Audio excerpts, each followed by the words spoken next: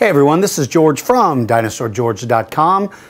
So sorry it's taken me so long to get to these things. Hang on a minute. Mmm. Ooh, she's hot. she's really hot. Um, I've spent the last uh, month and a half traveling all over Texas, speaking at libraries, trying to promote reading, and I have logged about 9,800 miles doing that. I still have a month and a half left, and ideally, I hope I can really motivate young people to get out there and read because being a good reader is incredibly important, and I feel very strongly about that. So I apologize for taking so long, but let's dive into it. First, before we get started, Item of the day is item 3717, can be found on my website. This thing is cool.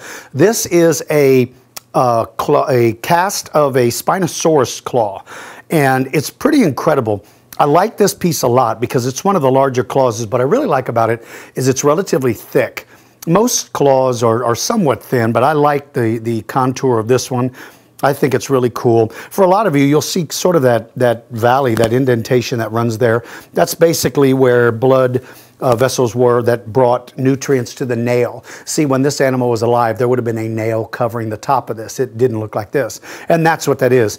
So for some of you, when you look at something and you're not sure if you're looking at a claw or a tooth, the fastest and most easily easy, easy way to recognize it, look for that little thin valley that runs in there, and that will tell you.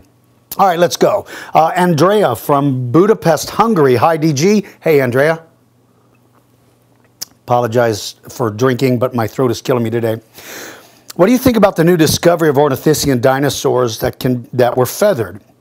It means, does this mean that ceratopsians and hadrosaurs would have been feathered as well? Or could it only be a characteristic of small bipedal animals? You know, Andrea, um, all the new information being released about these feathered dinosaurs, I do think that sometimes we jump to conclusions. We paint with a very broad brush.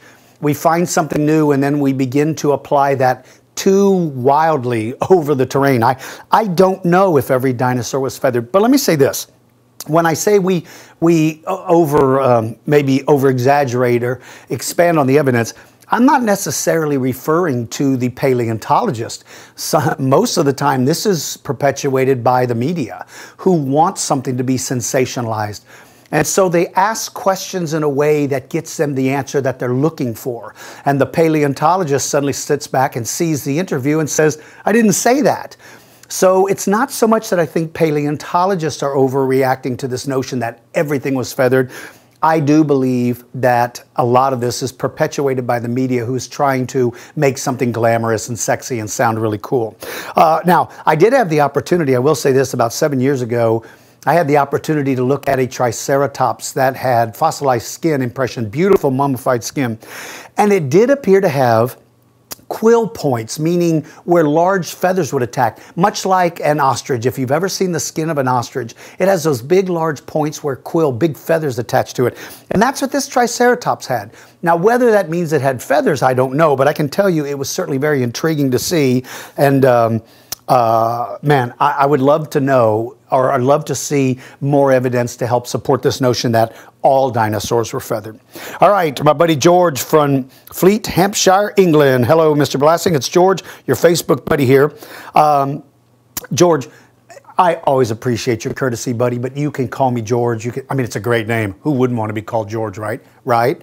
Uh, but you can call me George, DG, whatever you want to call me, buddy.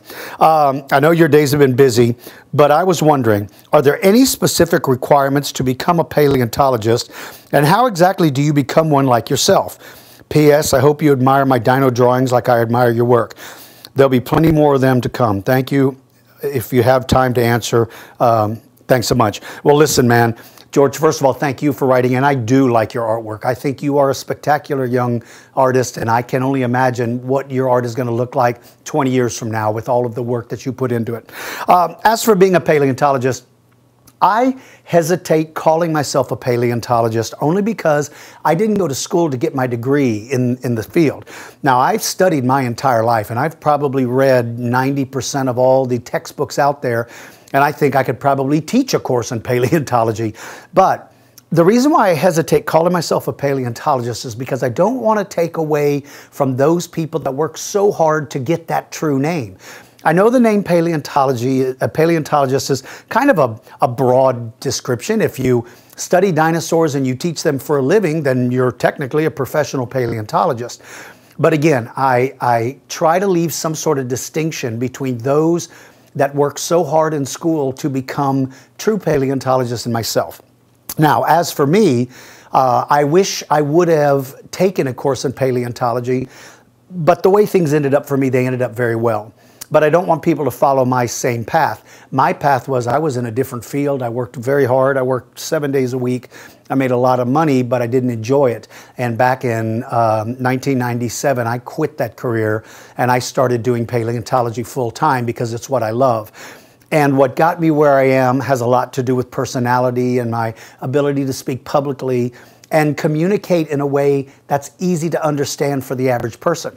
So many paleontologists get so deep into tech, uh, into technical information that they start to lose people because people don't know what they're talking about.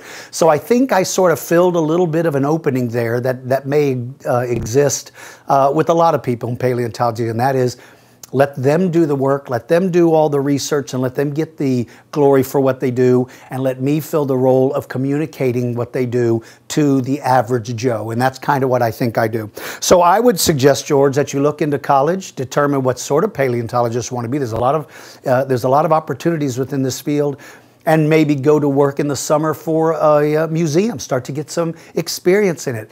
Uh, volunteer your time as you get older to go out on dig sites, and um, you can kind of get a better feel if that's what you want to do. And if you do, brother, I hope you go out and get a degree. Don't follow in my footsteps because I can tell you it's a difficult way to get to where I am. It was a lot of hard work, and some of it probably would have been easier had I been a degreed paleontologist. Uh, good to hear from you, George. All right, my friend Emma from Noblesville, Indiana. Emma. Hello, DG. Guess who's back? Yes, I know, Emma. How you keep getting through my spam filters are beyond me. I kid you, Emma. I kid you. All right. Uh, and she says, I hope you're doing well and are happy and healthy. I am, Emma. I'm very healthy. I'm actually very, very happy. So thank you so much. He says as he has to take a drink to take care of his throat. As you know, or at least I think you do, I have a passion for cetaceans, and I, lately I've been doing some research on prehistoric cetaceans. Um, basically, those are swimming, mostly mammals, but also reptiles, pretty much anything that lives in the sea. I was wondering if you knew or believed that Basilosaurus use echolocation like modern whales do. Woo! Thanks for everything and see you on Friends book. Oh man, no, I'm never letting you live that down. That's great. Thank you for always bringing up the Friends book thing. For those of you that don't know, one day, one day, I made the mistake, okay, maybe 24 times I made the mistake of saying Friends book instead of Facebook. And Emma cannot let that go. Thank you, Emma. Remember that claw I showed earlier? Yeah, yeah, this thing could cause a lot of damage, Emma. Don't forget that. All right. Could Basilosaurus use echolocation? You know, my understanding of echolocation is that it's generated in the skull, but they, there oftentimes is a chamber where there's a fluid that is used to cause that, that, that force that sends out those waves. And I don't believe Basilosaurus has that. Now, don't quote me on this because I'm not that familiar with it. I've seen Basilosaurus skulls, but I don't know if they would have had that ability. Their skull is more like a monitor lizard skull in a way, in that there doesn't seem to be room for something that would allow for actual echolocation. To the best of my knowledge, uh, Emma, I don't think so. The other reason why that may not be necessary is its eyes are relatively large and it's always found in what would have been a little more shallower water. So it suggests to me that they're using vision uh, versus echolocation as a way to find food? But that's a brilliant question, and I wish I knew 100% what the answer is. All right, my buddy Noah from Shippensburg, Pennsylvania. Hey, DG, I've got two questions. Hey, Noah, I got two answers.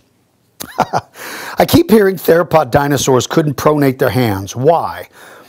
And do we have skin impression of Tyrannosaurus? Well, the pronation of the hands, meaning how could they could they move their hands in some of the same feet, ways we do? Can we put them in? Can we move them out? Could they grasp? Well, based on their skeletal design of their arms, it doesn't appear like they had that ability, and that's why they're saying that, Noah.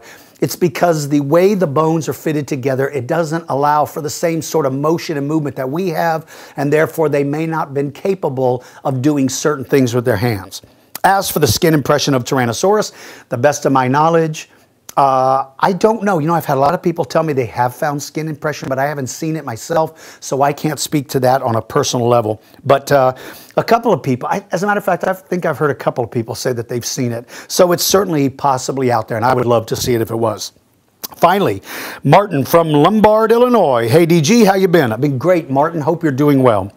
Have you ever been concerned that a good portion of the paleo community doesn't share the same ambition of teaching the mainstream public about dinosaurs? And what can us as science enthusiasts do about it? Okay, Martin, let me explain something about paleontology. It's no different than any other science. You have individuals within there that work really, really hard with the public. They do everything they can to promote and share everything they know. Uh, I am fortunate to know a lot of those people. They spend a large amount of time Look at Dr. Thomas Holtz Jr. You, when you go to his Facebook page, that man spends a huge amount of time communicating information to people so that they can understand what's going on. He's a prime example of how open and how sharing he is. Um, go to Witmer's lab at Ohio. Um, Here's a man that posts information constantly about his research and what they're doing and what the latest findings are. So these are people that spend a huge amount of time doing that. Now, they're, like I said, it's like any other science. There's also jerks, to, for lack of a better word. There's paleo jerks out there. Some of these folks kind of think paleontology is their own private club, and they don't want outsiders to come in. They see the public as a nuisance. But most of them work for public entities like museums or universities that are oftentimes funded by the public. And yet they see them as a, as a um, sort of a nuisance or a, a problem they wish would go away. Um, when I uh, when Jurassic Fight Club came out, I, I got a load of who they were. Man, I they even signed up. A group of them signed up to try to have me banned from television, and it was mostly because I wasn't part of their group. They're like sheep. They follow each other and they, they only do what the, what the lead sheep says to do. You're going to find that in every industry on the planet. What I suggest you do is I dropped off of all of those mailing lists and all those groups because I got sick of listening to them complain about how somebody dared approach them with a question. My opinion is if you think you're that important, good for you. But I would ignore those folks I would spend my time focusing on those avenues that give you that information. Uh, Facebook is a great way to find those kind of people. There are mailing lists out there, there are groups out there.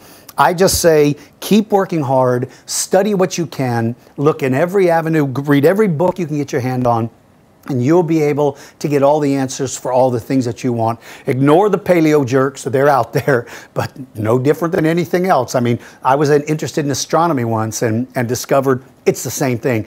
And it's usually those people that haven't really accomplished much that are the biggest jerks they try so desperately to be important. I hate that stuff. I don't know why it exists, but it does, and there's nothing we can do about it. So, Martin, you keep looking at all the venues you can, and uh, I'm sure you'll continue to get all the information you need. For all of you out there, I appreciate it very much. I apologize again for not being able to get these out quickly. I'm going to shoot another one real quick, and if my throat lasts, maybe I'll even shoot a third today. Who knows?